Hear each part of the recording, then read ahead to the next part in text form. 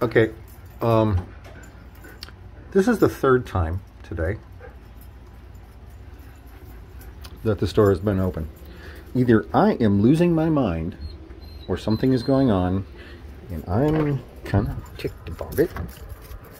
Don't you want to go outside? No?